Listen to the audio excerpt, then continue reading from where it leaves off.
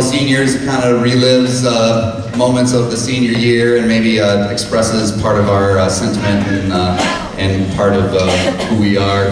I think uh, this is a good one as, as Alomar, and it, I try to do the best I can as to embody the, the, the spirit of the students that are behind you. I look forward to seeing you guys in the future. Thanks for coming. Have a good night.